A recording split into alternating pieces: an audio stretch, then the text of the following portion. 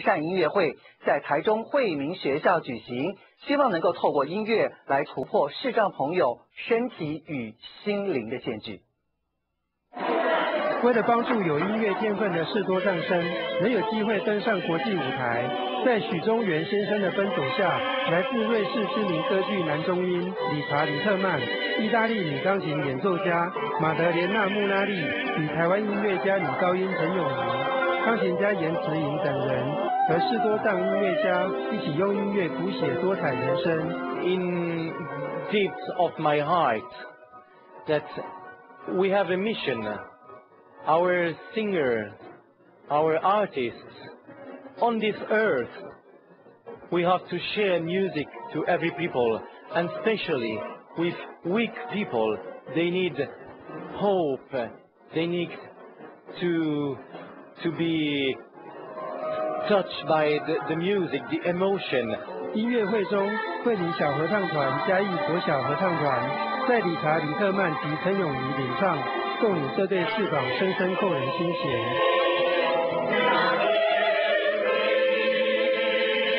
而多重视障生蔡泽元、李文贵自首连弹盖希文前奏曲，让人屏息聆听。接着，林伟士与台湾女高音陈咏仪演出《月亮代表我的心》，唱进人们的心坎里。其中男中音理查·李特曼独唱可爱的阳光，和李文贵的小提琴独奏，更是深深入扣。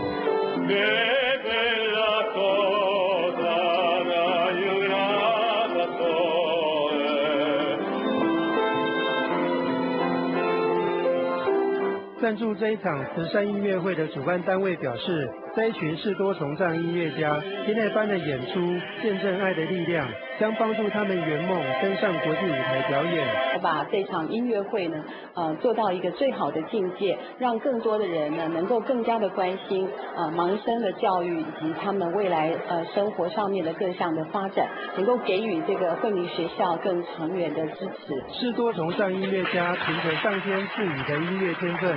用歌声唱出对生命的热爱，他们没有缺陷，他们是生命的勇者，以自身的经历鼓舞人心。